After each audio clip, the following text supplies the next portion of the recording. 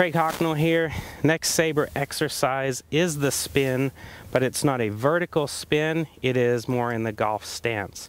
So what you're gonna do is take your saber, put it in both hands, put it behind your shoulders. This spin move can be done in a golf stance. So what you'll hear is you'll hear the timing mechanism drop and drop. This is ensuring that you make it all the way through. Now as you do this, you can increase the speed and you'll hear the mechanism have a rhythm.